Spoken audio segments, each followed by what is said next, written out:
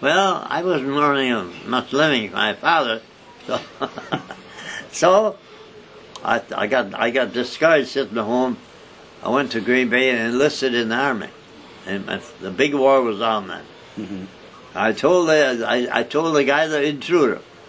I says I I want I'd like to get into an outfit that's gonna get over to France quick, and I want I, and I and and let you tell me you do you pick out the place where you want me to go.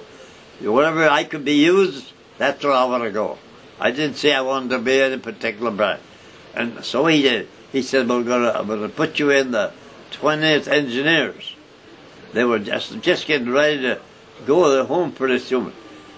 So I, I, I got left. I got all rigged up. We trained and we trained in in, in uh, North uh, in Washington for two weeks. Mm-hmm. What they call Camp American University, Washington. Okay. We trained there for two weeks, and then we went to the boat to go across. Well, let me ask you a question. How did you feel about going into an engineering unit instead of regular? How did you feel about going into an engineering company instead of a regular infantry? Oh, I, Regiment. I, I did never thought about it at all. Uh huh. I, did, we, I had no idea what I was getting into. Did you know what an engineering uh, uh, No, I unit did? I didn't know what they did. Uh huh. Uh, they could do anything. Build roads. They could do anything. But did you know that when you went in? Did you know what an I, engineer? Oh yes, I Oh, knew did, that. Okay. Sure.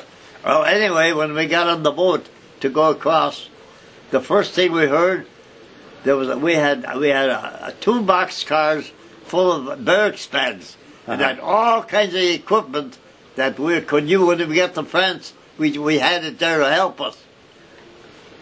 Fire burnt the boat boat the boat cars burnt the hill. Mhm. We lost everything. Mhm. When we got on the boat, all we had was uh, one, uh, two blankets and a mess kit. Didn't you tell me last time that uh, that you think it was sabotage? Yeah, That you think that it was That's what I German think. German saboteurs burned the boxcars? that's what I think. Where did that happen? In New York. It happened in New York. in New York. So while you were waiting to get on the boat, Yeah. they the, the what what was the name of the boat that you went over on? Do you I'm remember? sure I forgot that. But you remember the boat you came back on, right? No, I don't remember him. I, I forgot that name too. I think you did know it last time. I, I, have to look. Yeah, I, I have a copy of the postcard. Um, so you got on the boat to go over, and you only had two blankets and a mess kit. That's Yeah, all you had, and, and the I had. clothes you were wearing. Yeah. And, and four days I thought I was in heaven. Oh, it was so nice. The, the sea was quiet. I was watching the poor boy, poor boys on there diving alongside the boat.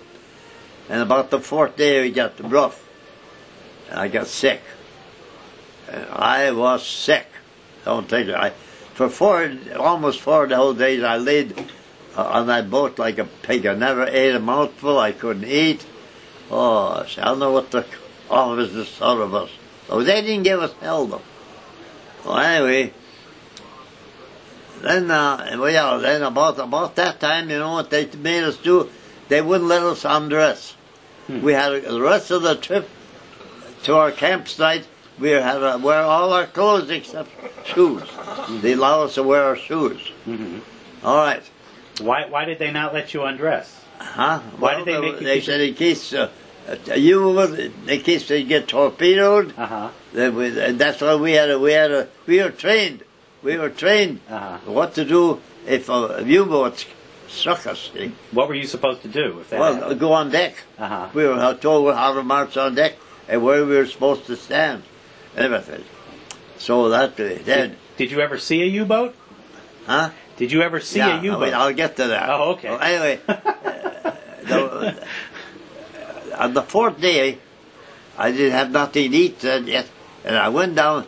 To, see, in order to eat breakfast, you had to stand go in line, not Mm-hmm. one behind the other. And I went, I went in and I got a half a grapefruit, and, and that's something you can eat when you're pretty sick, you know. Mhm. And I ate that, and then I was gonna, I sneaked back, and I was gonna go get in the line and go down and through her once more and get another half. And before I could get that, the abandoned ship alarm sounded. Submarines Hmm. On deck, all of us on deck. I know the first thing I did was go on deck and I threw up my, my dinner, my breakfast. and uh, then uh, after that, it got more quiet. But we had to we had to live the rest of the, with our clothes on. hmm And then we got into the So it was a false. It was a false alarm. yeah, it was Didn't you? I think you told me last time that you saw the sub chasers. Yeah. And what did you What did you think when you saw? Oh, wait, when we, uh, when we were down there in, the, in line on deck, uh, we could see some specks out in the distance. and We didn't know what it was. And when they got closer, we discovered they were sub chasers. Oh, it was 11 boats in our convoy. I don't know if I mentioned that before. Uh-huh. And these sub chasers, they're fat. They were going in and around the boats. They're trying that. They were covering us all the watching for subs. So we just and we took they good care of us. What did you What did you think when you saw them? When I saw them. When you saw the sub chasers? Oh, we didn't say anything, but we, we thought a lot. we were happy.